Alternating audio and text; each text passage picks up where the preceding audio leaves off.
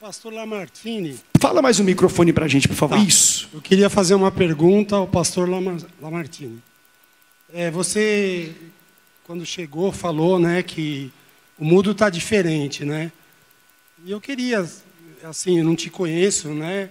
Assim, não te assisto, mas é, já vi uma pregação sua. Eu queria saber o, o esse diferente na tua visão, o que você poderia passar para a gente, né, cristãos. Aceitei Jesus há pouco tempo, dois anos, e acho que seria legal para a gente entender um pouco, né, desse sua sua visão, né, como um mundo diferente, que a gente está, parece que o tempo está andando mais rápido, não sei, outros falam assim, né, pastor? Qual que é o seu nome? Meu nome é Hamilton. Hamilton.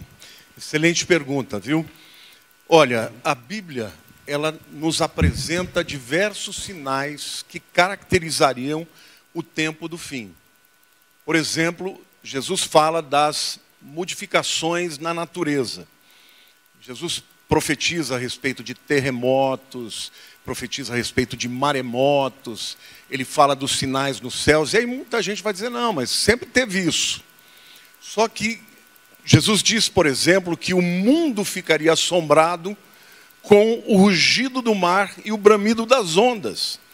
Então fica evidente que quando chegasse o tempo da volta de Cristo, as pessoas teriam condições de ver o que está acontecendo, por exemplo, do lado do mundo. Sempre teve terremotos que provocam tsunamis, por exemplo. Mas no tempo de hoje, se acontece na Indonésia, como por exemplo no ano de 2004, o mundo inteiro viu e o mundo fica, uau, o que está acontecendo? Sem contar, a Bíblia fala que os últimos dias haveria, primeiro, a multiplicação do conhecimento e as pessoas correriam de um lado para o outro. Isso está acontecendo exatamente agora.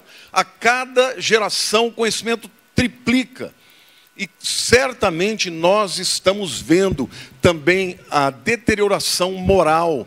Jesus disse que, uh, porventura, quando o filho do homem vier, ele achará fé na terra. Então, o esfriamento, a apostasia, que é afastamento da verdade, hoje, aquilo que é certo está sendo chamado de errado, aquilo que é errado está sendo chamado de, de certo. Tudo isso compõe sinais que nunca em tempo algum aconteceram tudo de uma vez.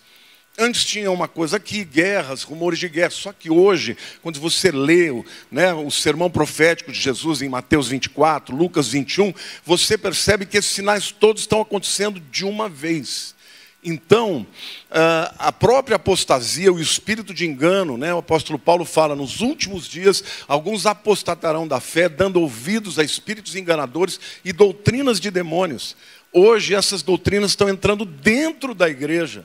E a igreja, ao invés de se tornar aquela resistência, ela está se apequenando, está tentando se adaptar a essa nova mentalidade. Então eu não tenho dúvida de que nós já estamos vivendo o que a Bíblia chama de princípio de dores.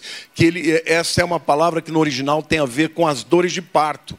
Né, quando a mulher começa a ter contrações e essas contrações anunciam que vai chegar a hora do bebê nascer. Estes sinais que Jesus falou ele disse: são estes sinais que antecederiam a vinda do Filho do Homem. Então, nós estamos vivendo um tempo de preparação mesmo em Maranata. Quem crê que Jesus vai voltar, dá um glória a Deus aí. Glória a Deus.